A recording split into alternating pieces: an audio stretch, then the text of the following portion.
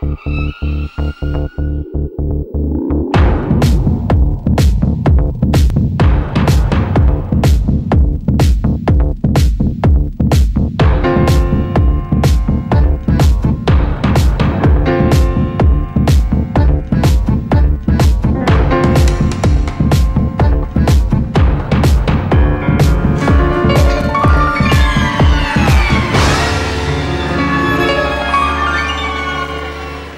Familias, ¿cómo están? Bienvenidos una vez más a esto de La Charla, como todos los viernes, donde tocamos temas de muchísimo interés que ocurren aquí en nuestras localidades. Y este viernes, Hoy tenemos un programón este, de una situación que se está viviendo tanto en Cutalcó como Plaza Winkle, que tiene cosas un poquito escondidas, que hay gente que todavía no sabe, que se miente, no se miente, situación que pasó en Cutalcó y algo que pasó en el consejo de aquí de Plaza Winkle, y hay un juego político que la gente es necesario que sepa. Por esa razón es lo que vamos a tratar en el día de hoy. Pero para arrancar quiero agradecer que me acompaña todos los viernes las chicas de Healthy Spa, Avenida Roca 138, Karina y Norma, un beso grande, que estamos todas las tardes trabajando juntas. También a Doré de Marilyn Estilista, Avenida Roca 138, que me deja el pelo maravilloso. Accesorios Moda Shop, Sáenz Peña 580 y la ropa La Boutique de la Mujer, Avenida del Trabajo 593. Ya están abiertas las líneas telefónicas para que ustedes se puedan empezar a comunicar con nosotros y recuerden que ustedes también hacen mensajitos o preguntas a nuestros invitados.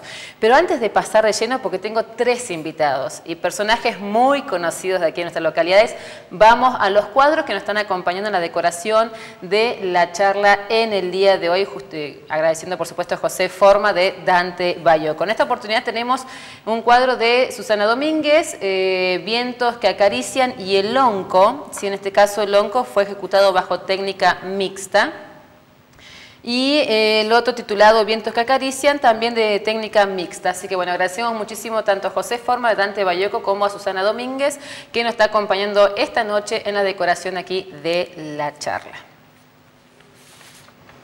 Decíamos, programa muy interesante, tenemos personas que tienen mucho conocimiento de muchísimas cosas y hoy más o menos en esta hora y media que tenemos de programa vamos a ver si vamos a poder este, exprimirlos en lo que más queremos nosotros, en lo que hace a información, por supuesto.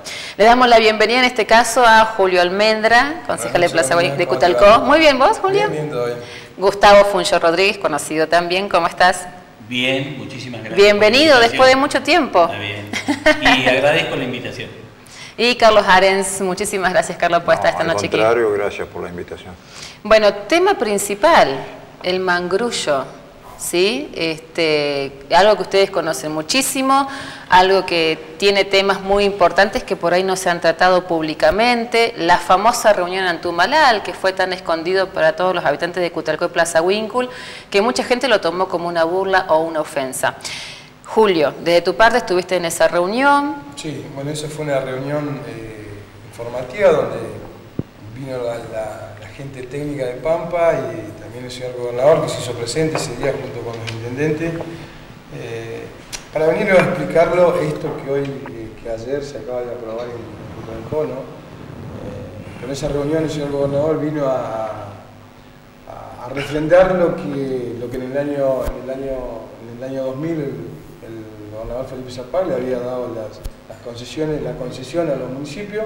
Simplemente vino a decir que que desde provincia no iba a pretender nada, ni, un bono, ni regalía, ni, nada que se le parezca para, para, esta negociación. Que nos dijo que nos pusiéramos de acuerdo, estábamos todos los concejales, tanto de Cutralcó y Plaza México, que nos pusiéramos de acuerdo y que sacáramos el mejor acuerdo eh, para esta concesión. Nosotros esperábamos que una vez que ingresara esto, este, este proyecto al, que tomar el Estado parlamentario, íbamos a recibir nos iban a llover la información, íbamos a, tener reuniones con diferentes, eh, diferentes partes, tanto de la sociedad como estuvo la gente de la Cámara reunida con nosotros, y que iban a ser tenidos en cuenta para esta, para esta concesión. Lamentablemente no fue así. Hay muchísimas cosas que, que las planteé incluso hacer en la...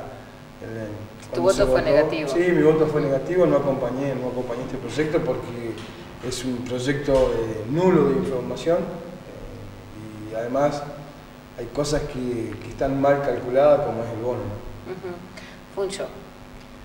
Bueno, con respecto a... Hiciste unas declaraciones bastante fuertes en el día de hoy. Con respecto a este tema de la reunión del Hotel Antumalal, eh, yo creo que lo hable aclarar que antes de esta reunión eh, salió en algún medio regional que existía un borrador del acuerdo de Pampa Energía por la explotación del yacimiento del Mangrullo, otorgar la concesión por 35 años. Del ingeniero Echeverry, me parece, ¿no fue? No. Y salió en un medio regional, y no sé si puedo decir, en el diario sí, en el Río Negro. sí. Y en esa oportunidad, yo creo que cabe aclarar que de ambos consejos deliberantes salieron con los tapones de punta, eh, con una disconformidad total que la exteriorizaron, salieron por todos los medios, que no estaban de acuerdo, que eran una cifra miserable, esto dicho por, en, conjunto por todos los concejales que se habían burlado de ello, que ellos no habían participado en nada en la redacción de ese borrador y que anuncian que ese borrador, el único que tenía conocimiento era el diputado del Pablo Sur, Ramón Solano Rossi. Exacto. Con respecto a este tema, llega la reunión de Antumalán, eh, participan los concejales y lo que llama poderosamente la atención, que salieron de esa reunión hablando de las grandes bondades de este proyecto, de lo que ellos mismos cuestionaban, donde no le habían cambiado ni una coma. Es el mismo borrador que había publicado un medio regional. Ahora cabe una pregunta, ¿no? Porque es bueno también eh, traer a la memoria eh, el tema del yacimiento en Mangrullo. El yacimiento en Mangrullo es producto del reclamo popular de nuestras dos comunidades. En el año 96-97, por las dos puebladas, el yacimiento del Mangrullo es un yacimiento marginal en aquella oportunidad, venció la concesión de ese yacimiento y, de, 19 áreas en la década del 90 pasaron a propiedad de la provincia en, medida, en la medida que iban venciendo las concesiones. En el caso, por ejemplo, Piedra Chenque, eh, Aguada Chivato, que es la que abastece de gas al Rincón de los Sauces, y en este caso el Mangrullo, que en el gobierno de Sobi lo anexan al proyecto Comingo. Como el proyecto Comingo no prosperó, con el reclamo de nuestras comunidades, el yacimiento del Mangrullo pasa a ser propiedad de nuestras dos, de nuestras dos localidades previo al consenso entre la legislatura, el gobierno provincial y los dos consejos deliberantes. En aquella oportunidad, en el año 96, en la primer, posterior a la primer pueblada, sale la ley 2186. Esto hoy nadie puede mentir porque está en internet. La ley aprobada en la en octubre en la legislatura provincial, sale la ley 2186 que cede el yacimiento del mangrullo a las comunidades de Plaza Huíncula y Custralcó por el término de 25 años. En aquella oportunidad, eh, concejal de Cutralcó, en este caso, Carlos Ares estaba, y, quien te habla era concejal por Plaza Huíncula. En aquella oportunidad hicimos un planteo duro a la provincia, a la legislatura provincial, donde nosotros propusimos que la cesión del yacimiento del Mangrullo sea por 99 años.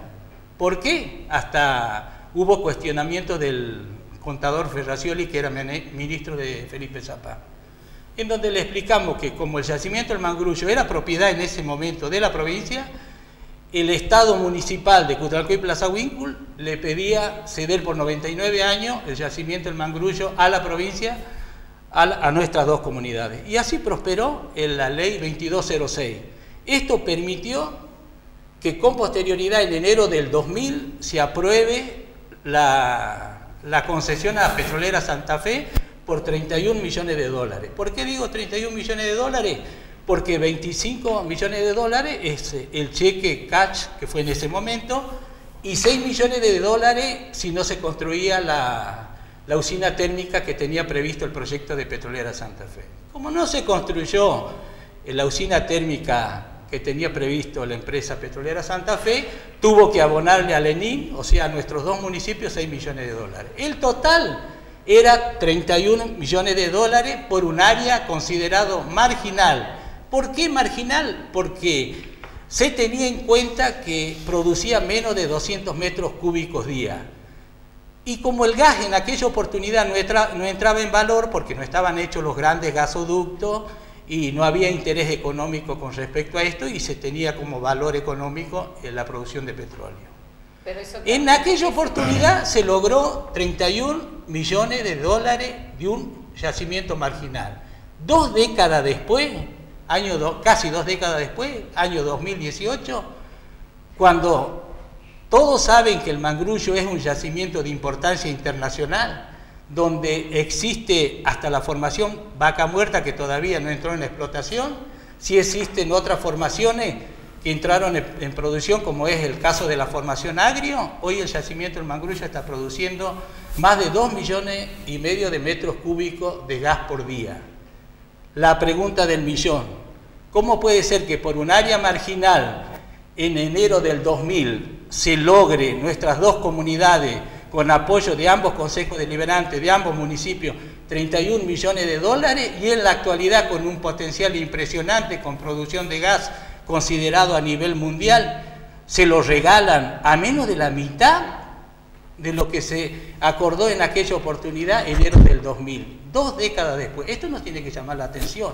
Esto eh, no, vos no tenés que ser un experto en hidrocarburos, también tampoco tenés que ser un clon de Arangure.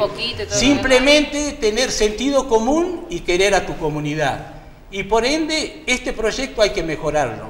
Hay que solicitar más recursos y no solo eso. En forma inmediata, una vez que esté para aprobarse haber acordado una mejora en la propuesta, contemplar un artículo que diga expresamente que se cree el fondo, un fondo soberano para ser invertido por las futuras generaciones, que sea acumulado al año 2030, para que los hijos de los que estuvieron en la ruta, los nietos de los que estuvieron en la ruta, que muchos de ellos hoy no viven, hoy no están con vida, pero sufrieron, pasaron hambre y frío, y lo único que vieron de Lenin, que los gobernantes de nuestras dos comunidades dilapidaron los recursos de Lenin y en esta oportunidad nosotros tenemos la obligación de contemplar a futuro que se contemple un acumulado del 50% por todo concepto de dinero que ingrese por la explotación del yacimiento del mangrullo para ser invertido en el 2030 por las futuras generaciones en el desarrollo de nuestra comunidad. Que los actuales gobernantes que tanto daño le hicieron a nuestras dos comunidades, por lo menos algunos no estén más o estén jubilados. Tal cual. Carlos, desde la Cámara Comercial. Sabemos que te reuniste con las concejales de Plaza Winkle, creo que... Primero con Cutralco, el lunes con Cutralco y el martes con Plaza Winkle. Bien. Eh, en los dos los planteos fueron similares. Eh, en los dos arrancamos exponiendo que para que no, no crean o no interpreten que nosotros íbamos a proponer cambios que creíamos posibles. O sea, yo mi exposición la arranqué diciendo, sabemos que la decisión la tienen tomada, ¿no es cierto? Tal cual porque hacer, ya sabíamos que esto era una decisión que no había argumento, por más válido que sea, que convenciese de, que tenían que variar la actitud o la decisión. Y voy a seguir un poco el relato que hacía Funjo, voy a, tratar de darle continuidad, ¿no es cierto?, a, agregarle a lo que él comentaba. Se transfiere el yacimiento en el año 97, después de la segunda poblada, después de, ese proceso ahí eh, termina en la ley 2206, como decía Funjo, donde se cede, se concesiona el yacimiento por 99 años a ambos municipios, que bueno, dentro de los el articulado de esa ley fija que hay que crear un ente, las funciones que tienen que, hacer el ente, los porcentajes que le toca a cada municipio, que tendrían que estar incluidos en la ordenanza, etcétera, etcétera. Pero hay un hecho que es grave de lo que ha sucedido ahora, partiendo de la base de esta ley. Esa ley habla, en ese momento no se, no se conocía los convencionales ni las nuevas tecnologías que iban a venir, o sea que la concesión de lo que había en ese yacimiento era total, la transferencia hacia los municipios. Eso incluía, si hubiera habido formaciones petrolíferas y demás, también hubiera sido eh, concesionado área de explotación para los dos municipios. Viene este arreglo de ahora que especifica claramente que el monto que se paga es para los no convencionales. Los convencionales, que son los que hasta ahora hemos explotado y que vale la pena aclarar que están generando regalías a cada municipio casi cercana a los 15 millones de pesos mensuales, a cada uno, que lo utilizan para obra pública. Esto lo quiero decir porque lo tenemos que relacionar después con los 15 millones de dólares que se suscriben, o sea, en este contrato, que van para las inversiones no convencionales. Si a la concesión original que se mencionaba de 25 años, que vencería en el 2025, o sea que quieren, quedan 7 años de explotación, y yo le estoy hoy renovando la concesión, la concesión que no tengo autoridad para renovarla la concesión porque yo soy el concesionario, yo hablando de los municipios, ¿no? Los municipios son los concesionarios, no pueden a su vez ser concesionarios. Entonces, por eso también interviene, esa razón interviene la provincia. La provincia sí puede ser concesionar. ¿Pero qué concesionan? Los no convencionales. Los convencionales reitero, se, les otorga 35 eh, menos 7, nos quedan 28 años de explotación sin que paguen un peso. Esta es la gravedad del tema. Acá vamos a explotar, o sea, se le cede a la empresa a partir de la firma 35 años de, concesión, ¿no es cierto? Tenemos, le quedan 7 en teoría de explotación de los, de los convencionales. 35 menos 7 nos quedan 28 años de concesión de convencionales sin cobrarle ningún derecho de ingreso a la explotación. Eso es muchos millones de pesos. Pero por supuesto, Carlos. Es lo que es, muy grave. Eso me parece que es un tema, es un tema central que si, si uno lo cuantificaría más o menos en relación a lo que hoy se está produciendo, estamos hablando de muchos millones de pesos. Entonces van a quedar las regalías, obviamente, pero ¿cuánto vale hoy, como decía Funjo antes, cuando no se conocía lo que había ahí, no se sabía, eh, se pagaron 31 millones de dólares, y ahora que se sabe lo que hay, este, se va a pagar 15 y cero por esto, por los convencionales cero, y 15 por los no convencionales, que a su vez hay que hacer una aclaración en los no convencionales. Según el acuerdo que se suscribió ya en Cutralcó y se va a suscribir en Plaza Winkle, el plan de la empresa de inversiones es más o menos así. En los primeros cinco años van a ser 205 millones de inversión para evaluar la posible producción o productividad de ese yacimiento. Cinco años tienen. Al cabo de los cinco años, si el resultado fue bueno de esa exploración, invierten otros 200 millones de dólares. Si nosotros tomamos la etapa de exploración como una etapa donde se están haciendo inversiones pero no hay producción, se sobreentiende que la producción va a seguir siendo de los, de los convencionales, de los actuales. O sea que ese ingreso que no pagan va a pagar la inversión que ellos hagan. Entonces esto es un, tema muy, muy complejo y grave porque eh, un poco como explicamos ahí, a nuestro juicio están hipotecando el futuro, están regalando un bien. Están regalando un bien, ¿cierto? Que no se toman porque esto eh, tiene varias cuestiones que analizar. Si yo no sé lo que vale el bien que voy a concesionar, lo primero que hago en este tema es contratar una consultora de primer nivel en este caso el ente, ¿no? no la empresa Pampa. La, Pampa. la empresa Pampa es interesada en el tema. El ente, que tiene que defender los intereses nuestros, tendría que haber consultado una consultoría especializada en el tema y que determine qué valor tiene el área a concesionar. Y en, basado en ese estudio técnico de una empresa calificada, decir, bueno, esto es lo que vale. Cómo los consejos deliberantes tan apurados están. ¿Cuál es el apuro? Porque encima hablan de que lo que se obtenga del recurso va a ser para obra pública. Entendamos que la obra pública, que es necesaria en una sociedad este, en crisis como la nuestra, con falta de trabajo y demás, pero la obra pública es a término. Yo termino la obra pública y lo, mando a la casa al, al, muchacho que trabajó. Tal cual.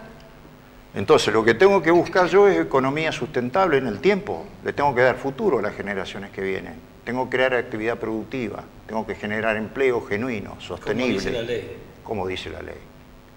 Entonces, estamos cometiendo varios errores y todos graves. Bien, antes de decir bueno, que el beneficiario principal digamos, es Pampa Energía, ¿no? En este caso, porque bueno, se está llevando muchísima plata de arriba. Este, Julio, en tu, eh, ¿quién pensás que está detrás de todo esto? ¿Quién es el más interesado? ¿Quién se va a llevar la gorra de acá? Y en primer momento se habla siempre que de esta negociación está atrás de, como lo dijo Funjo, el diputado parlamentario Ramón Río Seco, el que está desde el primer momento en esta negociación. Y coincido con lo que dicen ellos dos, no, es como... Porque alguien tiene este- que estar en atrás este de todo acta esto. acuerdo, En este acta de acuerdo que se está firmando, que habla, como dijo Carlos, que es, es por los no convencionales, y, y en, el, inciso C, que habla de cómo va a ser la, inversión, si vos te pones a mirar los no convencionales, lo- la inversión, o sea, la explotación de los no convencionales es un pozo por año. Eh, un pozo por año y la inversión grande es de los convencionales. De los 19 pozos que se van a invertir, 13 son convencionales y 6 son no convencionales. Este año harían uno, el año que viene harían otro, y el otro año dos, y después dos más. O sea, acá el negocio, el negocio de esto es lo que hoy se está produciendo y son los convencionales de los cuales no se está pagando un peso, como dice Carlos. Eso lo dice en el, en el acta, en el acta de acuerdo. Eh, ¿Y qué es lo que aprobaron los concejales entonces? Ellos están aprobando y están mirando que con esto, con este todo, con este paquete, le van a entrar 150 millones a cada municipio y es como y es lo que les interesa nada más. Se modifican el acta de acuerdo porque las ordenanzas tanto de Cutralcó y Plaza Winkle hablan que todo lo que ingresa de Lenin, que es la regalía o Sí. canon, deben ser divididos en partes iguales, en 33% para cada uno. Eh, acá se modifica, eh, o sea, un bono no existía en la ordenanza, el bono por, por explotación. Hoy con este nuevo acuerdo eh, podés eh, coparticipar el bono, se modificó el, se modifica la, se modifica el contrato, o sea, ahora todo lo que ingresa de ese bono va a ser para los municipios, para obra, como dice. Eh, la verdad que es algo muy, muy desastroso, muy, muy poco, mucha falta de información. Yo solicité, como dice Carlos, a ver de dónde sale este, este, este monto. ¿Quién lo determina? ¿Es una mesa entre cuatro, entre cinco? ¿Quién eh, tiramos al azar? ¿Cuánto pagamos? No. Acá tiene que haber un estudio, un estudio comprobado que me digan este yacimiento vale tanto. Yo como concejal, y la carta orgánica me lo permite, se lo, se lo- le pedí y se le dé informe al pedí informe al Ejecutivo y al ENIM, a los directores del ENIM, para que me dieran lo- y que me trajeran a la mesa dónde estaban los, los, los estudios que hab- habían hecho para determinar ese bono. Hasta el día de hoy estoy esperando esa respuesta. Eh, recibí una llamada por teléfono diciéndome que, que eran secretos de su madre, secreto submarino secreto, información secreta que en algún momento me la iban a dar. Claro, en Pero algún que sigas momento esperando. me llamaron el miércoles a las 3 de la tarde, el jueves había que votar. Yo necesito esta información para saber cómo voy a votar el día jueves, porque si usted no me da ninguna información de nada, ¿cómo voy- como concejal, ¿cómo voy a acompañar algo que no, tengo idea? Y eso fue lo que pasó en Cutralcó, la gente, los concejales que apoyaron no supieron defender eh, su voto, la verdad, la verdad que se pusieron a hablar cualquier cosa en vez de hablar del, proyecto que estaban aprobando. Sí, nosotros en el canal de YouTube de Canal 8 pueden ver porque se subió, porque nuestros compañeros que trabajan en el exterior los grabaron a cada uno de los concejales cuando estaban argumentando el sí de, de esto, ¿no? Así que todos aquellos que quieran verlo lo pueden ver a través de YouTube, Canal 8 Plaza Winco, y ahí van a ver, digamos, el gran argumento que dieron a la hora de aprobar. ¿Hubo apriete desde arriba, desde el gobierno, para que se apruebe esto? No, desde el gobierno provincial no, yo particularmente no recibí ningún apriete ni ninguna llamada que se le parezca. Eh, acá en, en esta reunión, que fue la única reunión que tuvimos con funcionarios, que vino el gobernador, en ningún momento dijo esto hay que votarlo. Él fue claro y dijo, pónganse de acuerdo que este es el momento, pónganse de acuerdo de poder sacar esto, esto adelante, nada más.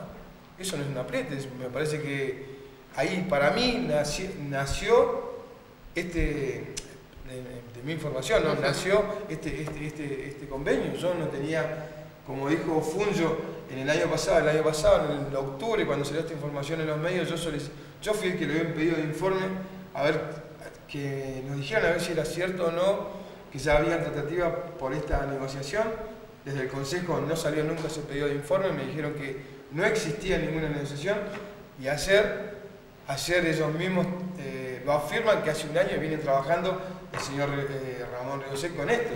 Entonces, hubo declaraciones públicas apoyando un poco lo que dice el concejal. Este, nosotros en el mes de noviembre, producto de esta información que eh, saca la empresa Pampa, ¿no? curiosamente. La empresa Pampa es la que eh, saca la primera noticia de la negociación que se estaba realizando por la concesión del yacimiento. Entonces nosotros desde la Cámara elevábamos una nota al Consejo Deliberante de Cutralcó pidiendo, solicitando una audiencia. Obviamente no la contestaron nunca, porque era relacionada con esto, o sea, pedíamos una audiencia con la comisión de la NINA, o sea, que la integran todos los concejales, ¿no? Porque ya, obviamente, es un tema grave que afecta a las dos comunidades y que tenemos la necesidad de conocerlo. No, esto no es, no se puede manejar en reuniones secretas. Por supuesto que no. Este, el, secreto. Si, si es, transparente no se tiene que esconder. Aparte no hay que inventar nada. En el marco de las dos puebladas que hubo en nuestras dos comunidades, este tipo de discusiones se, convocaba a través, de la Cámara de Comercio a toda la comunidad, estaba la multisectorial. Entonces, ¿cuál es el secreto hoy que no podemos emplear los mismos mecanismos? No hay que inventar nada, convocar a las instituciones intermedias y brindar la información. Así como se lo convocó al pueblo a salir a la calle, se cortó la ruta para lograr con nuestra rebeldía eh, esta reivindicación, de la misma forma la tenemos que convocar porque esto no tiene que tener secreto. No puede ser que Río Seco, Ramón Río Seco es el CEO de Pampa Energía, es el Arangure de Pampa Energía o, que, o es un representante de nuestra comunidad. Yo creo que esto es interés de nuestras dos comunidades, de las instituciones intermedias, de la multisectorial que en su momento tuvo plena vigencia. ¿Y por qué le esquivan al debate? Si no tienen nada que esconder, no tendrían que esquivar el debate. Y el debate tiene que ser un debate maduro. Aparte que no quieran confundir a la comunidad. Vos no tenés que ser un experto en hidrocarburos, no tenés que ser el, primo hermano de Aranguren para saber el tema tan complicado que es este, que solamente tenés que tener sentido común porque hay precedente. Vos cuando tenés un precedente, tenés un ejemplo, te tenés que basar en eso y tener sentido común y defender a nuestra comunidad. Si cuando el Mangrullo era considerado un área marginal se logró 31 millones de dólares, ¿cómo puede ser hoy, como dice Carlos Haren, que regalemos los convencionales por 27, 28 años más y por los no convencionales la, la miserable suma de 15 millones de dólares cuando todavía de las formaciones que son parte del mangrullo, la, explotación de vaca muerta todavía no se originó, solamente se está explotando eh, otras formaciones, como el caso del 2013, que entró en producción la formación agrio, que es mm. una formación muy importante que está en el yacimiento del mangrullo y que por algo se está produciendo 2 millones y medio de metros cúbicos de gas por día. Bien, vamos a establecer la primera pausa, muchachos, ¿qué les parece? ¿También cómo quieren más café? ¿Ahora vemos en el corte? Muy bien, familia, vamos a establecer la primera pausa en este programa de la charla. Este sexto programa, si no me equivoco, a ver después la producción me va a estar ayudando, sexto programa de... Ah, ¿me está? Sí, sexto programa de la charla. 299-4629-687 para que se comunique con nosotros, también al 48 61 843 y a través del WhatsApp 2995 018 935. Tengo medio tapado ahí, me ayuda ante memoria. Pausa y ya volvemos.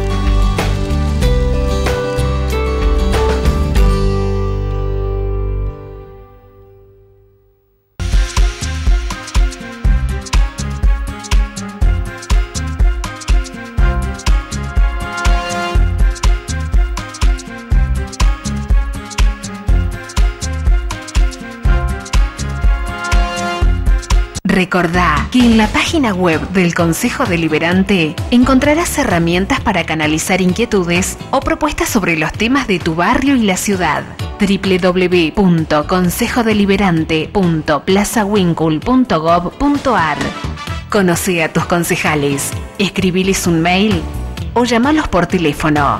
Consejo Deliberante de Plaza Wincul.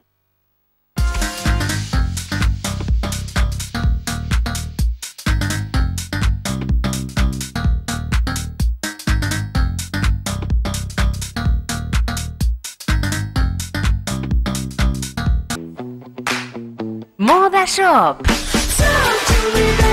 Carteras, bolsos, chalinas, bandoleras, relojes y toda la bijú artesanal la encontrás en Moda Shop.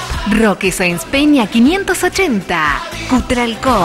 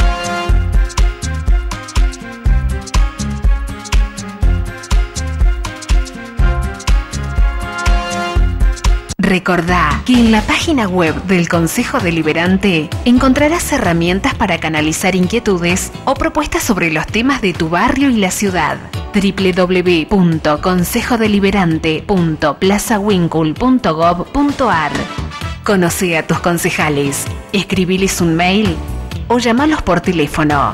Consejo Deliberante de Plaza Wincul.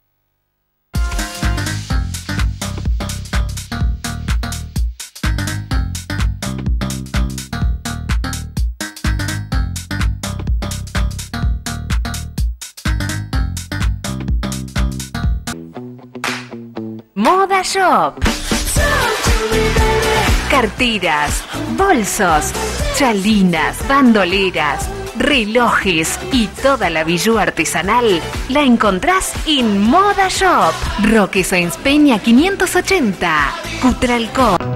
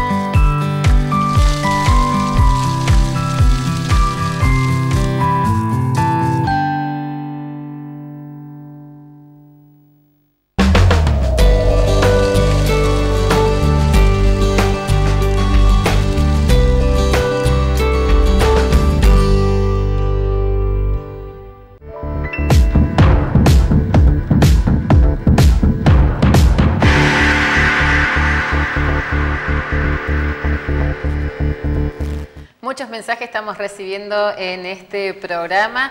Ah, no, tienen que estar así sueltos como están en el corte al aire. ¿eh? Total, no importa, ya estamos fuera del área de protección al menor.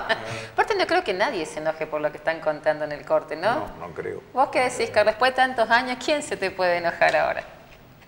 No sé, y si se enojan ya no me afecta tampoco. Este, trato de, de contar lo que yo entiendo que es la verdad, no quiere decir que sea la verdad, pero lo que pienso yo respecto a estos temas, ¿no es cierto? Después de, de muchos años trabajando en tratando de buscarle alternativas a la zona, ¿no? Y todavía hoy no hemos logrado, y a uno no, no puede no dolerle lo que está sucediendo hoy cuando se sigue insistiendo con recursos para obra pública. Tenemos ninguna comunidad, creo que en la República Argentina, dispone de 15 millones adicionales cada una para obras Mm, mensuales. ¿no? Tal cual. Entonces, hay recursos de sobra para obra pública. Un recurso extraordinario, no renovable, porque no lo vamos a repetir esto. Dentro de 35 años, el que viva no creo que tenga nada para ofrecer, para licitar, para concesionar. ¿no? O sea, el recurso va a estar agotado. Entonces nosotros estamos hi- hipotecando el futuro de las generaciones venideras, lo que deberíamos de- dejarle a las generaciones que vienen, infraestructura productiva para que las generaciones tengan una posibilidad de crecimiento, porque si no hay que empezarle a decir a los chicos vayan preparándose para emigrar de la zona. Eso es lo ¿Eh? que hablábamos, de, las- de tantos Seamos, jóvenes que tienen eh, ideas y que no tienen el recurso, que las- el ENIM les cierra las puertas justamente muchas veces para emprender algo acá en nuestra localidad y que se terminan yendo. Pero aunque no, eh, el tema es que no hay, no hay una planificación. Tenemos recursos sin planes. Esto es lo grave, porque tenemos que planificar. Se había comenzado en un momento con la idea de, planificar un desarrollo. Se desvirtuó todo. Nadie continúa procesos que aseguran a las generaciones venideras que tienen alternativa. Hoy ni siquiera preparamos gente para, que vayan a trabajar a vaca muerta. Eh, si no lo saben, todo el mundo lo sabe, lo voy a reiterar. Es muy difícil que un obrero de Cutralcó consiga trabajo en la zona de vaca muerta, porque no está capacitado. No lo saben las autoridades. Aunque el trabajo llegue, van a requerir determinadas capacidades que no le estamos dando a nosotros, la gente del lugar. Entonces, eh, todas estas cuestiones deberían ser estudiadas con más seriedad, ¿no es cierto? Entonces, no se puede tratar un tema como este con tanta liviandad, de decir, no, nos permitimos tiempo, tiene que salir rápido la decisión por esto. ¿Por qué? ¿Cuál es el apuro? ¿Cuál es el apuro que no nos permita decidir correctamente? No estamos pidiendo otra cosa, decidir correctamente y que se aplique el recurso a generar empleo. Tal cual. Aparte, Ni más no, hay ni que, menos. no hay que inventar nada. La ordenanza de, la- Lo dice de la creación del ENI lo dice claramente. La ley 2206 lo dice claramente. Los recursos que por todo concepto ingresen a las dos comunidades tienen que ser invertidas para el desarrollo de nuestras dos comunidades. ¿Qué es lo que hicieron en estas dos décadas que pasaron? Vamos a dar un ejemplo simbólico que tiene que ver con la grave situación que está pasando en nuestras dos comunidades. Petrolera Argentina, manejada por delincuentes este Sí. hasta es difícil el apellido. Con respecto a este personaje, no solo estafó a nuestras dos comunidades con los recursos del ENIM, sino a la provincia, con crédito que nunca pagó a la provincia, y a nivel nacional, a nivel nacional, con el famoso Plan Refino Plus, que estafó al Estado Nacional en, cien- en 124 millones de dólares. Esto de delincuente al empresario este, no lo digo yo, lo dice Laura Alonso de la Oficina Anticorrupción, que lo denunciaron a nivel nacional por la defraudación que hizo con estos 124 millones de dólares. Ni siquiera apostamos como corresponde con los recursos genuinos del Lenin. Yo era concejal cuando, creo que fue el 2009, 2010, un 28 de diciembre, Día del Inocente, de la noche a la mañana, cuando estábamos en receso, le dieron 4 millones de dólares a este personaje. Y hoy hay varios de esos responsables todavía en el ENIM. Y esto pasó y lo denunciamos en aquella oportunidad y continúan con estas cosas. Lo que decía Carlos, ¿por qué no apostamos al desarrollo? Desgraciadamente la clase política nuestra ni siquiera fortalece ni valora lo que tenemos. La destilería que tenemos nosotros en el ejido municipal de Plaza Winkle De las 22 destilerías que existen en el país, es una de las más importantes. Del IPF tiene tres destilerías. La de Plaza Winkle, la de menor envergadura, que produce 4.000 metros cúbicos día, la de Luján de Cuyo, que produce 3-4 veces más, y la de La Plata. Estas son las tres destilerías. La de La Plata y de Luján de Cuyo se, eh, se, ampliaron, se invirtió más de 1.500 millones de dólares, tienen mayor capacidad y están refinando el petróleo de la cuenca neuquina. Resulta que nosotros tenemos una destilería que está, es nuestra, que es ejemplo en el país, si bien es la más pequeña, pero eh, está jornada, tiene tecnología de punta y es la primera destilería del país que empezó a destilar petróleo no convencional surgido de Loma Campana de, de la formación Vaca Muerta. No solo eso, vos te retrotraes en el tiempo y fue la primera destilería del país que hizo nasta sin plomo. Cuando IPF importaba el MTB, el famoso contaminante este, lo dejó de hacer porque se perfeccionó y logró eh, eh, destilar nasta de alta calidad. No valoramos ni siquiera lo que tenemos. ¿Por qué no pedimos a nivel nacional que IPF... La provincia de Neuquén tiene un director de IPF, que es el secretario de Finanzas de la provincia, un tal Bruno, que no lo conozco. ¿Cómo no vamos a pedir que se amplíe la destilería nuestra? Si Vaca Muerta está en la cuenca neuquina, produce, produce gran cantidad de petróleo y el de mejor calidad. El petróleo de Vaca Muerta es el de mejor calidad, el más liviano, que permite con, un alto contenido y calidad de realizar las nastas que necesita el mercado.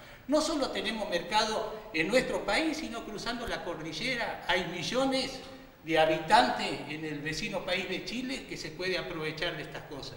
Sin embargo, nadie se preocupa por esto de lograr una gran inversión. En Luján de Cuyo se tomaron 1.500 empleados para la ampliación de la destilería de Luján de Cuyo. En La Plata se habla de 2.500 para la ampliación de la, de la destilería de La Plata. Y todo con el petróleo de Neuquén. Resulta que nosotros tenemos una destilería en, en y Plaza Winkle y no realizamos ningún tipo de inversión ni lo reclamamos. Si seguimos así, Aranguren debe estar pensando en ponerle ruedita y llevárselo a la provincia de Buenos. Vamos a leer algunos de los mensajes que hemos recibido de los televidentes. Eh, Alfredo de, no, sí, Alfredo de Barrio Peñitrapón dice, fue muy valiente el concejal Almendra porque se animó a votar en contra de su propio partido, el MPN. Lo felicito. ¿Es así? No, por eso te decía, acá tal vez lo toman porque el mismo oficialismo de, de Cutralcó eh, se encargó de, difundir que decir que este era un acuerdo donde el gobernador lo había traído y que el gobernador nos había apretado esto. Yo no lo tomé así y no lo veo que fue así. Eh, yo, el gobernador simplemente nos vino a decir que, que, buscáramos un consenso y que buscáramos el mejor acuerdo. Así que tal vez... Eh, escuchó la campana de, la gente del municipio, que, quisieron hacer creer a la comunidad que este es un acuerdo que vino armado desde el, Ejecutivo Provincial y en realidad la negociación la llevó siempre adelante el ENIM y, algún funcionario municipal. Bien. Eh, Analia Barrio Central, que es comerciante, dice, ¿se puede realizar un eh, planteo legal para Carlos Arens? Habría que analizarlo en función de lo que dije al principio. Eh, acá se mezcló en este, en este convenio la parte de convencionales con no convencionales. Sobre los convencionales, la potestad es excluyente, es nuestra.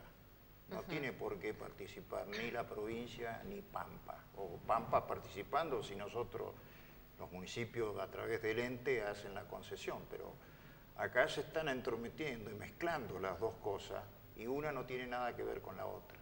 Encima la que metemos ahí adentro es la que, la que le da sustento a la supuesta inversión.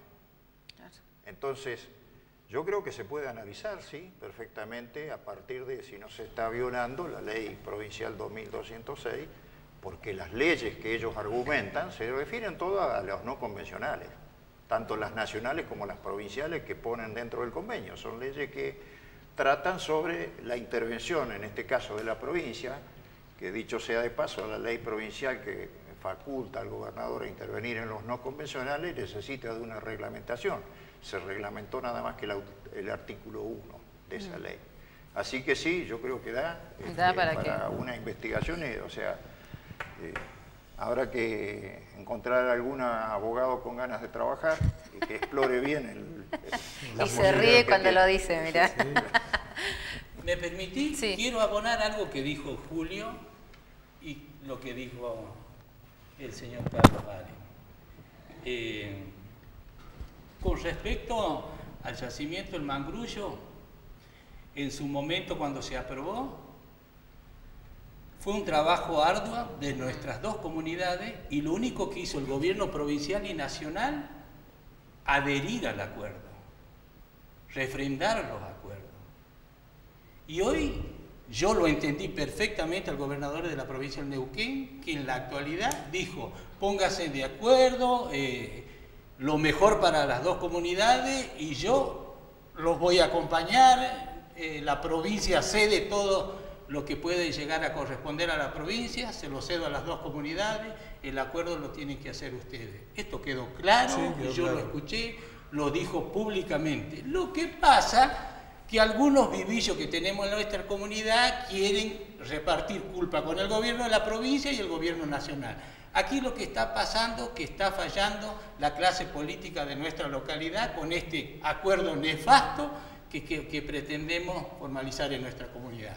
Yo creo que tienen que abrir la participación, generar un debate y así como nuestras dos comunidades salieron a reclamar públicamente en las históricas puebladas del 96-97, tenemos que permitir la participación de nuestra sociedad. Si en aquella oportunidad, año 96-97, se logró con la participación de toda la comunidad, hoy también tenemos que hacer lo mismo y solicitar al gobierno provincial su acompañamiento y al gobierno nacional. ¿Por qué? Porque hay algunos, algunos, algunos datos y algunas conquistas que se realizaron en su momento, que es como el caso del mayor valor del gas plus en nuestra provincia, mm. que permitió que hoy todo el gas generado de vaca muerta de lo, del famoso J-Gas es un valor de 7,52 el millón de BTU, que de alguna manera viene a beneficiar las cargas, la, las arcas del Estado provincial y del Estado municipal, que en este caso es el yacimiento del Mangrullo. Dejo una preguntita planteada. Sí a, la audiencia, ¿no? Eh, Pampa hubiera hecho eh, esta aceptado esta concesión que se fijó si excluíamos los convencionales? Seguramente no. No. Eh, o sea, este convenio jamás hubiera existido si los convencionales que eran de nuestra propia decisión no hubieran estado con la misma documentación que se aprobó, el convenio que se aprobó, con el texto, con los anexos, con las inversiones y demás, se puede comprobar esto que yo estoy diciendo. Si no existían, existieran los convencionales dentro de, esta, de este convenio, la empresa no se hubiera interesado. el, negocio, el negocio está en lo que no paga. El negocio de los convencionales. claro, este vos lo dijiste en su momento. Si se aprobara, harían cinco pozos convencionales de forma inmediata y uno no convencional que el tiempo que transcurre una, que salga este pozo en producción es tres veces más o cuatro de lo que sale un convencional. O sea, la inversión de eso es el convencional. No se hubiera incluido todo en un paquete. Ni le interesaría. No, no le interesa. Ni, ni arrancan, digamos. Lo, por, por, lo que no pagan, digamos. Claro. Ese negocio, este negocio era, no lo hacía. Tal cual. Otro mensajito. Miguel de Barrio Central dice saludos a Carlos Aren porque es una persona eh, preparada y demostró que nunca trabajó por un cargo, renunció por la RRR de Río Seco. Sí, así que bueno, un saludo. Milton Gómez, Plaza Winkle, saludos a Funcho, sus comentarios no son, no son solo certeros, sino muy valientes y eh, aclaratorios y aclaratorios. Tengo que aprender a leer la, letra de mi... Ajá, la letra de médico. Dice Bocha, dice, muy buena la información que nos dan, especialmente Carlos Ares, también Funcho Rodríguez y Almendra, dan una visión de eh, primera mano de la situación. Ellos tienen las herramientas para discutir. Sin embargo, no hay un lugar donde se pueda denunciar especialmente lo que se está haciendo con la concesión. Muy, buenos muy buen programa, saludos. Yo creo que eh, haber sacado esto tan rápidamente, haber salido aprobado, no le dieron tiempo tampoco a instituciones intermedias ni, ni a la comunidad en general que podrían haber pedido una banca del pueblo, que podrían haber pedido información que podrían haberlo, haber, haber citado, haber, en, este, en esta negociación, más allá que es el ENIN que está firmando esta, esta concesión, eh, los directores del ENIN responden a diferentes ejecutivos. No hemos escuchado a ningún intendente salir a hablar de, este, de esto, no hemos escuchado al directorio del ENIN a salir a hablar de esto. Me parece que ellos deberían ser los responsables de salir a dar este tipo de información y no nosotros andar de alguna manera queriendo eh, buscar información debajo de algo que, nunca la vamos a tener. Bueno, pero si de momento que salió en Dantumalal los directivos de NIM no quisieron hablar, porque muchos medios de comunicación, inclusive los oficialistas, eh, quisieron hablar con los, directivos de NIM y tampoco les dieron permiso o no quisieron, digamos, por cuenta propia salir a aclarar nada. aclarar lo siguiente, ¿no? Porque hoy se nombró un solo responsable de esta negociación. sí. hay varios son varios, uno solo no puede decidir por el conjunto. Da tanto poder para decidir por muchos. No puede, son dos municipios con dos administraciones diferenciadas en lo político, dos consejos totalmente diferentes. Este, eh, y el gobernador algo anduvo haciendo, fue él el que vino a explicar, o sea, hay, hay una escalera de gente desde la empresa, esto se conocía ya desde el mes de octubre, noviembre del año pasado, o sea que ha, habido varias intervenciones desconocidas, yo creo que para la mayoría de los concejales, seguro, seguro, este, y que se... Yo creo que uno tiene que tener en la función pública cierto pudor, ¿no es cierto? Por no decir vergüenza, o tal vez vergüenza sería la palabra más adecuada. Hay cosas que no se pueden aprobar como esto que estamos hablando, sin conocer el contenido. Tal cual. ¿A qué urgencia? ¿Que tenemos una catástrofe en Cutraco y que hay que sacar recursos de abajo del colchón? No. ¿Cuánto fue el, tiempo que desde la reunión de Antumalal a que se aprobó? Eh, dos semanas. Dos semanas y un poquito más. Desde que tomó estado parlamentario, el de Antumalal nos dieron un borrador, sin firma, sin nada. Fue un borrador que lo largaron. Desde que tomó estado parlamentario el, proyecto de, ordenanza, estuvo seis días, al, séptimo día se lo ha aprobado. ¿Eh? Una semana, entró el jueves, el jueves que viene, entrante y se aprobó. Tuvimos una sola comisión, una sola comisión donde se trató, donde no se trató porque ya esto ingresó el jueves, el lunes ya andaba por los pasillos del despacho de comisión, ya lo tenían armado, yo le digo, no, ¿cómo van a, ¿qué van a aprobar si, si estamos solicitando información? Yo ese mismo día que ingresó esto, el, proyecto del, Ejecutivo, yo hice una serie de, de pedir información con respecto a esto, Pasó a comisión, ni se trató el pedido de informe y obviamente llegaron con, el despacho de comisión ya para aprobarse.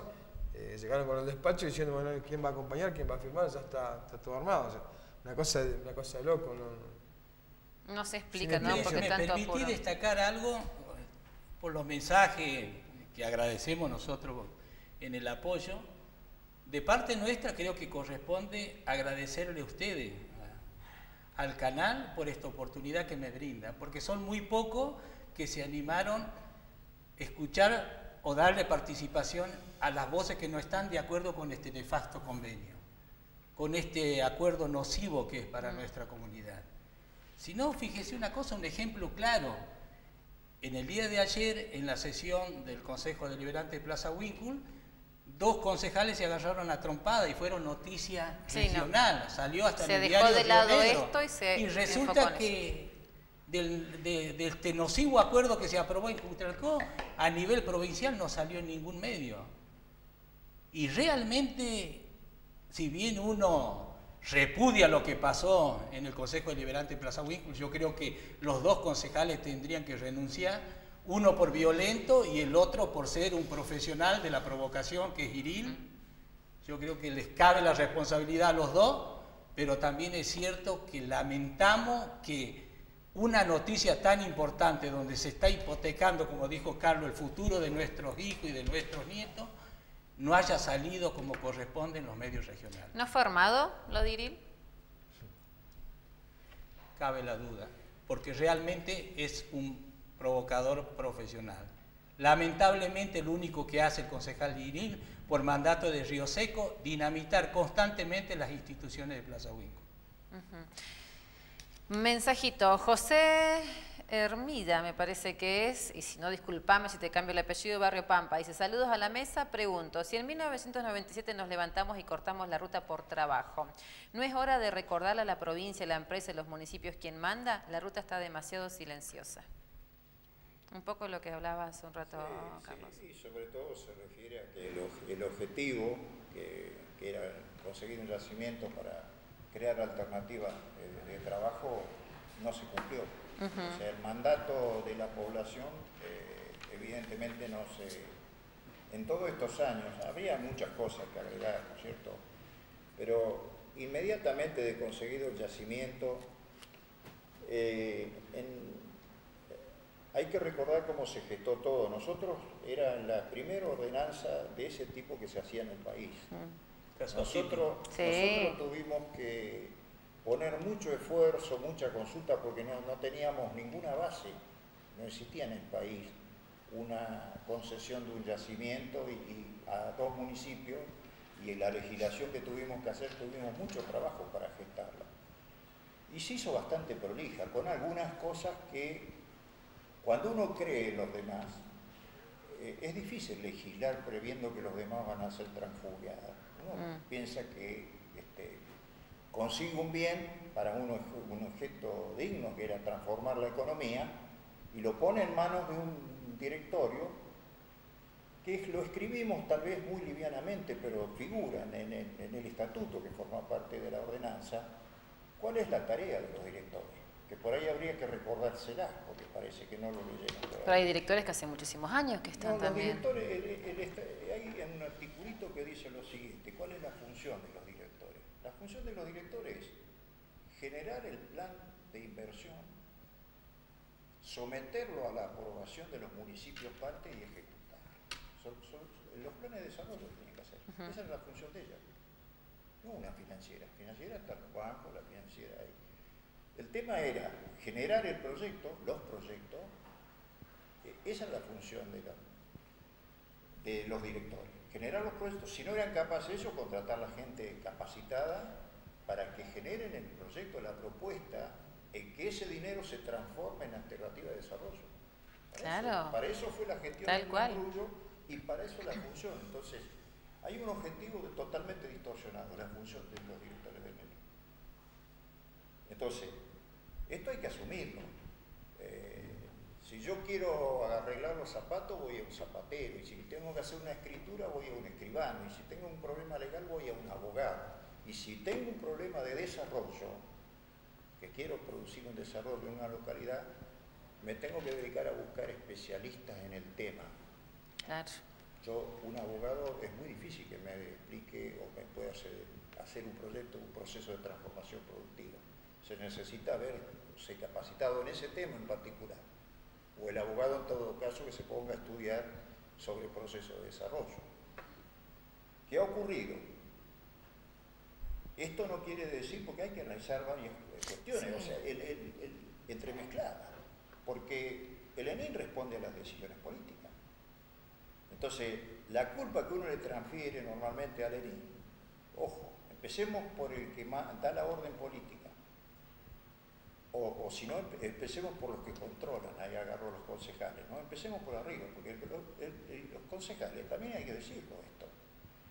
La ordenanza le da todas las facultades de control, de sacar a un director si, ven que no funciona, si quieren sacar al síndico porque no cumple las tareas, eh, si los recursos que ingresan a los municipios este, eh, tienen la obligación de ser auditados el, intendente tiene que elevar mensualmente el informe en qué va a utilizar la regalía de Los concejales tienen que aprobarla primero y después recién puede gastarla.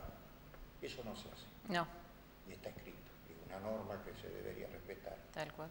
Entonces, si a mí me dicen qué pasa acá, no se cumple la ley, no se cumplen las normas. Por más, las normas son corregibles, puede haber algún defecto, algún error, eso se corrige con la voluntad. Si la voluntad es hacer el proceso de desarrollo para el que se consiguió el yacimiento, hay que adecuar la normativa, si es que falta adecuarla, o sea, es su trabajo, pero primero parte de la decisión política, si yo conduzco y no doy esa instrucción y obligo a hacer otro proceso, obviamente los resultados son los que tenemos. ¿Es así, Julio? ¿Ustedes no...? Sí, es así, bueno, Carlos sabe bien cómo, cómo se maneja el Consejo y todo, toda información o todo, o toda, o todo control que vos querés hacer necesitas de mayoría. Eh, nosotros no la tenemos, hemos solicitado miles de informes, nunca salen de, la comisión, eh, no se pide ningún informe. Esto de, solicitar informa, perdón, de informar en qué van a gastar la plata del municipio, de la plata que entra por regalía, no se cumple, ni tampoco le vamos a decir al intendente, tráiganle la plata si no informa. O sea, no es que yo se lo quisiera decir siempre, pero eso es por mayoría, se vota, ellos tienen mayoría en todas las comisiones y en la NENIM, peor todavía porque estamos todos, estamos los nueve eh, y no, pero, nos matan. Pero matan como algo, Y otra cosita. Le, creo que un comentario para que siga hablando, ¿no? Pero eh, está escrito en la norma, o sea que no habría que operar por mayoría o minoría. Eso es lo que dice la norma. La ley la tiene que cumplir, eh, no es mayoría, lo tiene que cumplir. Porque no es votar por mayoría que se cumpla la norma, o sea, la norma está aprobada. no tendríamos ni que pedir informe, nosotros, eso lo tienen que cumplir por hecho. A eso iba, no tendría ni siquiera que andar pidiendo informes. Acá no hay que votar nada, acá hay que cumplir lo que dice eso, la norma. Bueno, no lo cumple, no se cumple de años no se cumple. Y bueno, y apoyando también lo que dicen ellos del retiro de todo este ingreso que, ingresa desde el mangrullo, después que ellos crearon la ordenanza, después se modificó, hoy se retira el 70% casi de todo lo que ingresa, se reparte a los municipios y todo va para obra. Todo es obra, eh, nada de reconversión productiva ni, ni, ni, proyectos que vayan a mirar a futuro para poder salir adelante el día que que, se acabe el gas y el petróleo, porque esto tiene un, tiene un final, tiene un final. Eh, yo quiero aclarar algo que creo que es muy importante, una aclaración. Y eso lo contemplamos Carlos Aren, concejal conmigo en aquella oportunidad, cuando se generó la ordenanza de creación del ENIM, para que esta ordenanza, este convenio que se aprobó en, Cutralcó tenga vigencia, tiene que ser aprobado en los mismos términos en el Consejo Deliberante de Plaza Winkle por los dos tercios. De no ser así, pierde vigencia, o sea, no se puede aplicar la ordenanza. Te aclaro porque en alguna oportunidad en Plaza Winkle yo hice un proyecto de ordenanza elevando eh, el porcentaje de regalías, llevándolo del, 14% al 24%. Fue aprobada por unanimidad, pero como en Plaza, por orden de Río Seco, no se trató, no se pudo poner en vigencia la ordenanza que fue aprobada en Plaza por, por, la mayoría de los concejales por unanimidad, aumentando la regalía al 24%. En este caso es igual si en Plaza Winkle no se aprueba la ordenanza como fue aprobado en Cutralcó, no entra en vigencia ni se puede aplicar. Eso te queda como argumento y esperanza sí, seguramente de que se, se va a aprobar, ¿eh? seguramente ya se va a aprobar. Yo, yo, yo, también, yo también quisiera que no, que no, se aprobara, que Plaza fuera la salvación, en este caso de. No, porque ya lamentablemente hoy a la tarde ya se sabía. Ya hay unos acuerdos que de hecho hoy a la tarde. Exacto, y vos también lo sabes, Carla, porque te estás riendo. Contalo, Carla. Y tendremos que ir todos al Consejo Deliberante cuando se trate. Claro. Eh, hoy a la tarde ya se sabía. Los reunieron a los concejales con el tema ya y bueno, hay que participar en el Consejo Deliberante. Una semanita más, una semanita menos, ya sale aprobado también acá en Plaza Este acuerdo nocivo. Casi fue una comunicación lo que le hicieron a ellos, mm. de lo que había que aprobar. Bien. Vamos a establecer una última pausa, ¿sí? Última pausa, seguimos leyendo algunos mensajitos de nuestros televidentes este, y más preguntas que siguen llegando. Así que breve pausa y ya continuamos.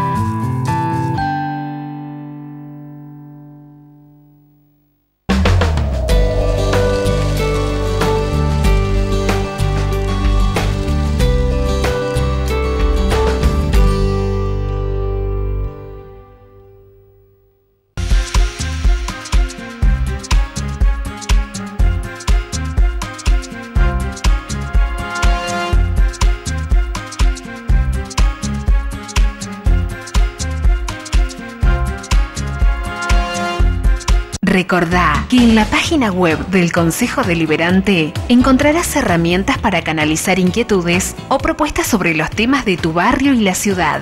www.consejodeliberante.plazawincul.gov.ar Conoce a tus concejales, escribiles un mail o llamalos por teléfono. Consejo Deliberante de Plaza Wincul.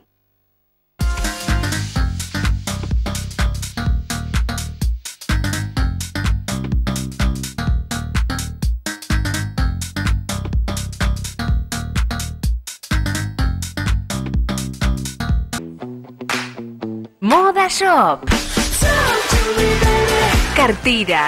Bolsos, chalinas, bandoleras, relojes y toda la billú artesanal la encontrás en Moda Shop. Roque Sáenz Peña 580, Cutralcó.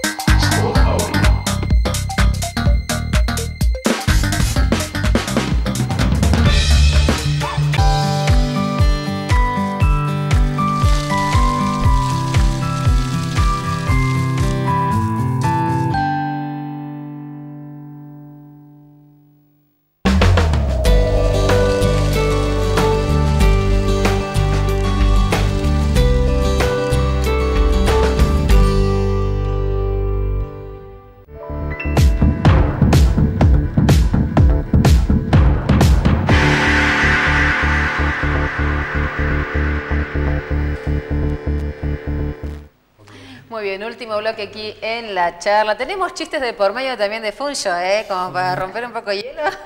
Estábamos acá en el corte.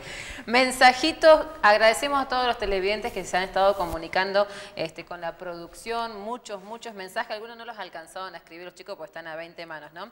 Pero, por ejemplo, Juan Ramírez del barrio Saez, eh, o Centro, ¿eh? No se puede denunciar todo lo actuado hasta ahora, no puede ser que nos roben el yacimiento en las caras, dice, ¿no? Héctor del barrio Soufal, saludo a la mesa, esperemos que los directores del ENIM también paguen con su dinero los yerros que nos costó tanto dinero. Maxi Barrio Rucaquimei dice, muy buen programa, buenos diálogos y excelentes invitados, faltan los intendentes y directores de ENIM, mm, te lamento informar, Maxi, que no van a venir, porque por más que hemos intentado que vengan, de cualquier cosa van a hablar, menos lo que a nosotros nos interesa. y para tener por ahí entrevistas muy pautadas no es la idea. Sabrina de zona de chacras de aquí de Plaza Winkle tienen que irse todos. Y a los directores del ENIM habría que echarlos del pueblo. Lamentable la situación. Yuguito de Barrio Soufal, saludos y muy bueno el programa. Todo un poquito de la variedad, digamos, ¿no? Pero la mayoría de la gente es como que se le está abriendo los ojitos en este momento de la situación este, y obviamente con enojo. Con enojo. Cuando se trate en Plaza Winkle tendrían que nuestros vecinos interesarse porque está en juego no solo el presente, sino el futuro de ellos, el futuro de los hijos nuestros, de nuestros nietos. Y cuando se trata en el Consejo de Plaza Winkle, toda nuestra comunidad tiene que ir a exigirle a los concejales que analicen y, traten de cambiar esta propuesta con mayores recursos para nuestras comunidades y exigirle a, a los concejales que voten lo mejor para las dos comunidades. Hablando de concejales, ¿cómo tomaste la situación que se vivió aquí en Plaza Winkle?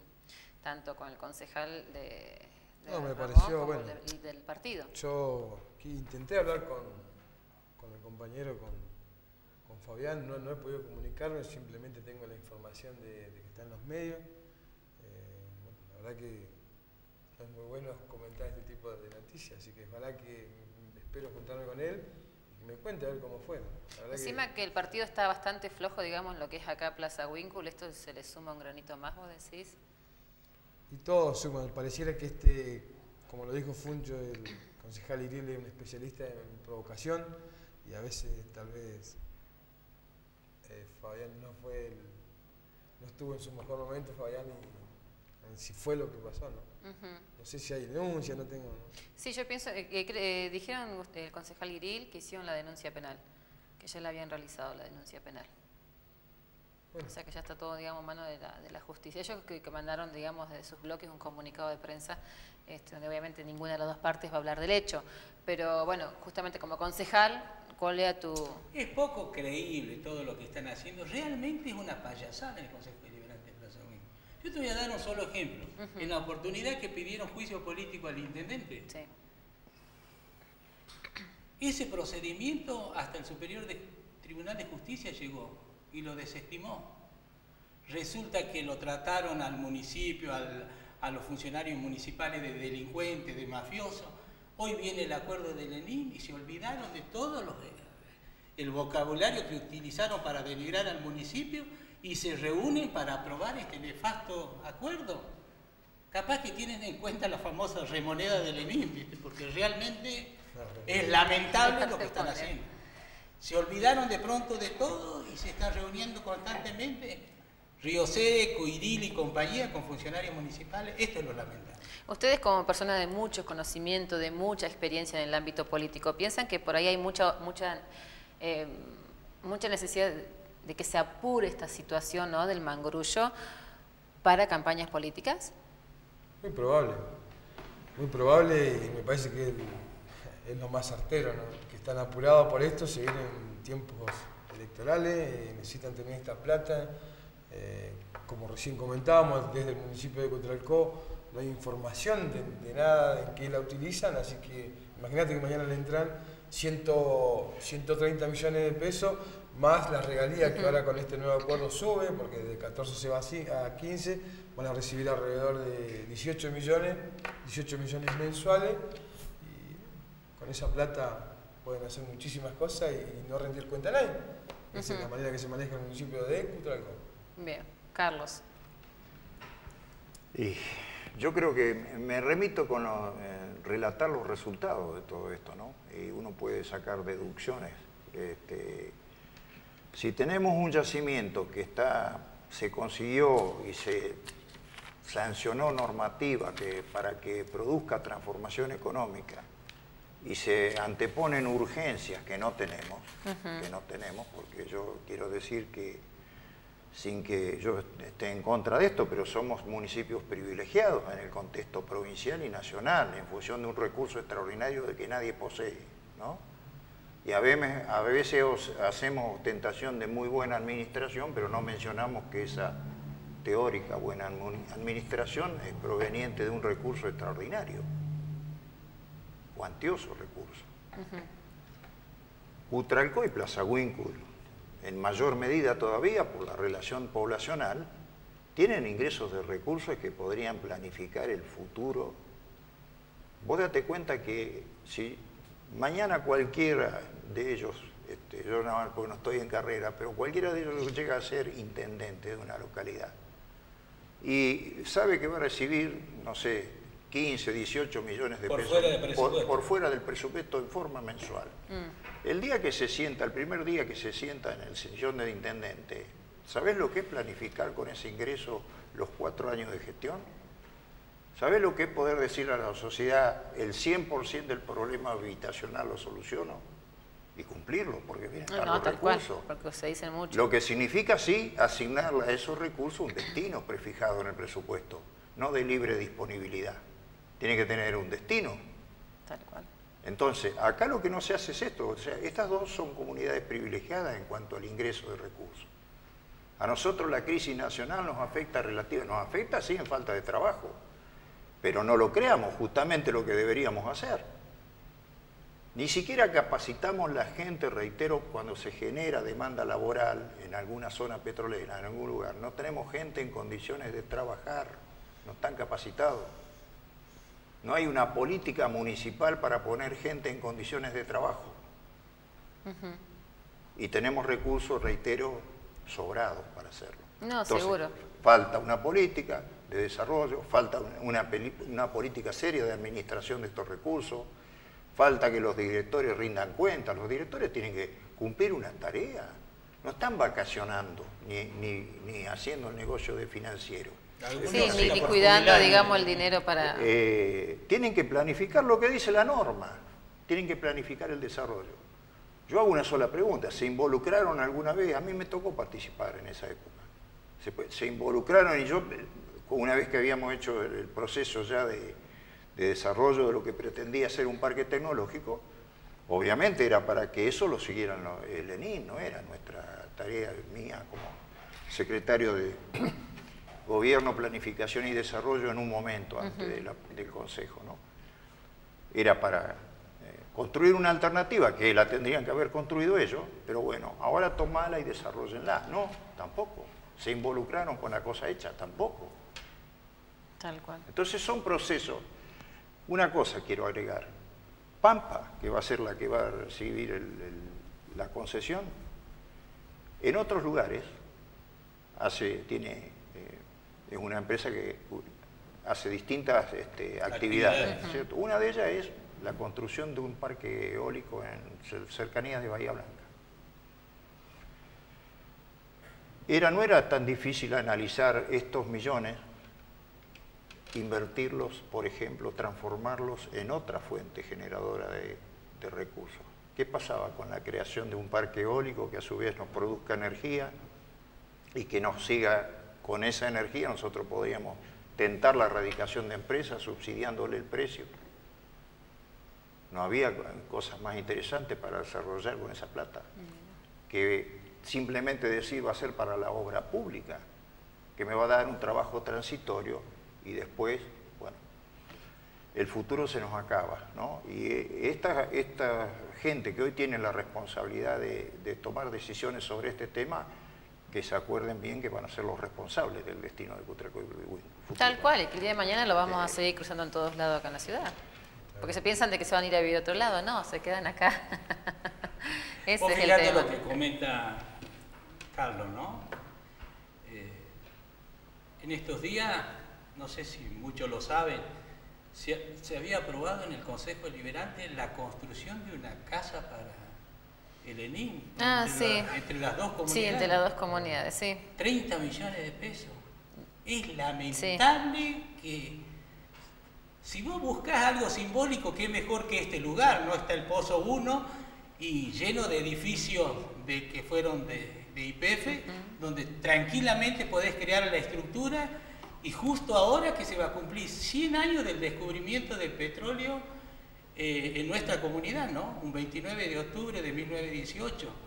¿Por qué buscar un caprichito entre, en el canal colector de hacer una edificación de 30 millones de pesos cuando tenemos estructura ociosa como es el caso que te estoy comentando y de, un lugar tan caro a los sentimientos de nuestra comunidad que es el pozo número uno? Y aquí estamos rodeados de edificios que tranquilamente pueden servir para que el ENIN funcione como corresponde y terminar con estos caprichitos de seguir dilapidando los dineros del ENIN. Tal cual. bueno, eso fue muy... Hoy tenemos la gran oportunidad cuando se trate en Plaza Winkle este nefasto proyecto de ordenanza que fue aprobado en Cutralcó, que la sociedad participe, que vaya y se, y se llene gente el Consejo Deliberante exigiendo a los concejales que se elija lo mejor y se reforme este acuerdo para mayores recursos para el desarrollo de nuestra comunidad. Bien. Bueno, hemos llegado al final. Les quiero agradecer muchísimo. Eh, quedaron muchas cosas por ahí por decir, ¿no? Por aclarar, por comentar a la gente. El tiempo en televisión pasa volando. Este, seguramente vamos a seguir hablando porque ahora hay que esperar este, Plaza Winco. Plaza Winco. ¿sí? Cuando se calmen las aguas, cuando se trate el tema, este, a ver qué es lo que... Tienen, tienen comisión, El lunes tienen comisión de Claro, el lunes. Así que seguramente vamos a ver qué es lo que pasa, ¿no? Ojalá que que piensen un poquito en, nuestras localidades. un poco yo eh, quería reforzar un concepto que decías vos antes. Lo que pasa, si no conseguís los que toman las decisiones, que se sienten con los que no piensan igual, porque ahí sería la manera de que a todo el mundo se le aclaren los tantos, ¿no? Tal cual. Este, pero justamente eso es lo que no se logra, ¿no? Yo valoro el esfuerzo que ustedes intentan hacer, pero evidentemente es gente con la cual no se puede eh, debatir, porque esto sería fácil de discutir acá la gente, el público, el, el televidente podría estar hoy interpretando quién tiene la razón. Tal cual. Lo hemos intentado, acá, y vos sabés que lo hemos intentado un montón de veces. el intento, pero bueno, es un intento, como vos mismo manifestaste, que casi imposible, creo imposible de lograr. No, no, seguro, lo hemos intentado un montón de veces. Y eso es también un indicador, marca algo, ¿no? Mm. Porque eso uno entiende por qué no. Y el yacimiento se ganó con la lucha de dos, de dos comunidades, y hoy los que toman las decisiones no son más de 10 personas. Entonces me parece que, que no corresponde que esta, esta concesión tomen eh, la decisión y la sigan tomando estas 10 personas. Me parece que o haber sacado un plebiscito, haber, haber, de alguna manera haberle dado participación a la comunidad, a ver qué piensa y, de cómo se puede mejorar, que esa es la idea. Nadie quiere bajar la persiana de No, no, es que se dice que, no, sino que y también aclararte que de esta lucha de estas dos comunidades, mucha de esa gente hoy no está con nosotros, hoy murieron, eh, desgraciadamente, y no vieron el fruto del esfuerzo y el sacrificio que hicieron en su lucha, porque los recursos de Lenin fueron dilapidados en, dilapidados en todos estos años. Por eso yo reitero en esta propuesta de que tenemos que hacer un fondo soberano acumulado hasta el 2030 y que ese 50% que ingrese por los recursos de Lenin recién sea utilizado en el 2030 por, las futuras generaciones. No solo ampliar y mejorar el acuerdo, sino contemplar este recurso soberano para nuestras comunidades, para nuestros hijos y nuestros nietos. Bueno, muchísimas gracias Carlos Funcho. Julio, este, muchísimas gracias también a nuestros televidentes que se estuvieron comunicando con nosotros en todo momento, que mandaron mensajitos, dando su opinión, que la sacamos siempre al aire. Aquellos que por ahí no alcanzamos a sacarlo al aire, mil disculpas, no nos da mucho el tiempo. Eh, vamos a ver cómo sigue todo esto de acá la semana que viene aquí en el Consejo de Plaza Wincroft. Obviamente ustedes las van a poder seguir a diario en Tele 8 Noticias, de lunes a viernes aquí por la pantalla de Canal 8. Agradecemos su compañía como a todos los viernes este, por estar del otro lado de la pantalla. Agradezco a las chicas de Helsi Spa, de la Boutique de la Mujer, Aileen Doré y Moda Shop que me acompañan todos los viernes.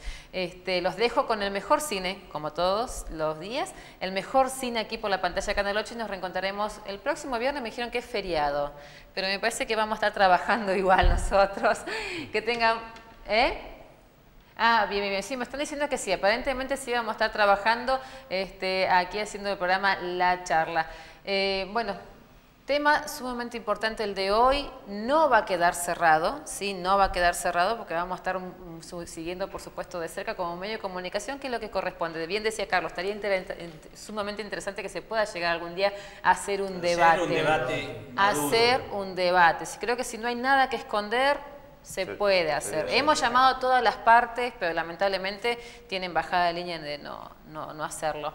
Este, y eso que yo no como con preguntas ni nada por el estilo. No, no quieren que sepa nada, ese es el problema. Este, no creo que sea el cuco del programa. Pero bueno, vamos a, seguir intentando para que algún día se pueda hacer realmente un buen debate. Los dejo con la mejor, el mejor cine, cine de esta noche aquí por la pantalla Canal 8 y nos reencontraremos el próximo viernes. Buen fin de semana y muchísimas